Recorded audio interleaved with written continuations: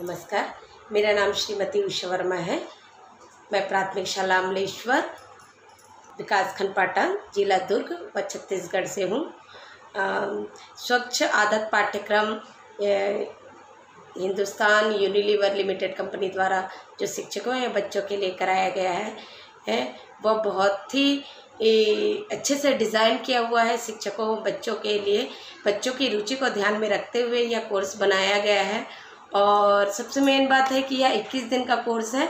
और दूसरी चीज़ है कि बच्चों की रुचि, यानी एनिमेट के एनिमेशन के द्वारा जो स्वच्छ आदत का कार्यक्रम है, वो बच्चों को बहुत अच्छे से सिखाया गया है। प्लस जो मॉड्यूल है अलग अलग चीज़ों के बारे में, जैसे गंदा, यानी कीटाणु, स्वच्छ हाथ, स्वच्छ पानी, स्वच्छ टॉयलेट एक एक जो विषय वस्तु है, उसको बहुत ही शॉर्ट और शॉर्ट एंड स्वीट रूप में बच्चों को बताया गया है। क्योंकि आजकल लंबे वीडियो कोई देखना पसंद नहीं करता या थ्योरी पढ़ना आजकल कोई पसंद नहीं करता तो इन छोटे छोटे वीडियो के माध्यम से जो बच्चों को महत्वपूर्ण जानकारी मिली है, वो बहुत ही रोचक व महत्वपूर्ण है। बच्चे इसमें बहुत रुचि के साथ इसको कर रहे थे। कभी कभी मुझे वीडियो डालने में अगर एक आध घंटे लेट हो जाता था तो मेरे बच्चे फ़ोन करके या मैसेज करके मुझे बोलते थे कि मैम आपने आज का वीडियो नहीं डाला है। कितने बजे डालेंगी?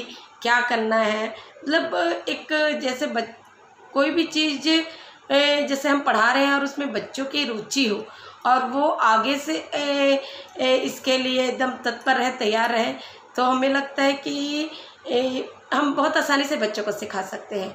तो ये कोर्स उनकी ये समझ बनाने में बहुत ही महत्वपूर्ण हुई हैं। उनसे मेरी बातचीत होती रहती है बच्चों से और वे बताते रहते हैं कि हम ये करते हैं, हम सफ़ाई में हमने, हम रोज़ हाथ धो के खाना खाते हैं, हम टॉयलेट से आते तो हाथ धोते हैं।